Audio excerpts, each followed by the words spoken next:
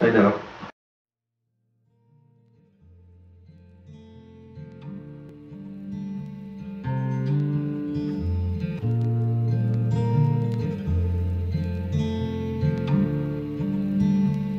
that people think that somehow like, well, maybe I'll be a, you know, well, I'll be a web designer, either a web designer or a, a lawyer or a musician, as if it's a career like like it's you select to do. But I think of musicians, me, I, it's like you don't have a choice in the matter. You do it because you have to do it. And uh, so people approach music as like a job. Like, this is what I do. I have a, like how, how do like I said, like you know, how do I how can I go on tour and pay my rent? I don't know. Like, that was never a consideration for us. Ever. You know, we always worked. I mean, had jobs.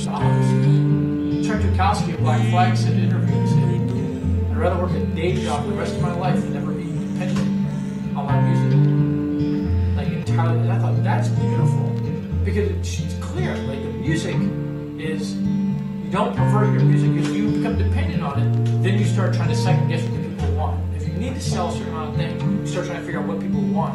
As soon as you do that, you're fucked.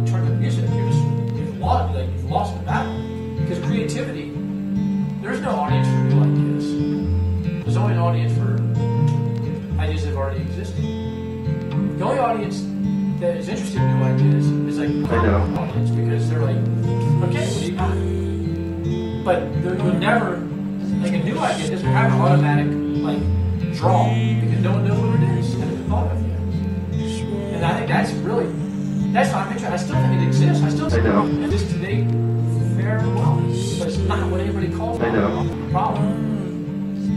not what the media calls know. They can have their version. There's room for us all. But there's always going to be some kids somewhere doing something that's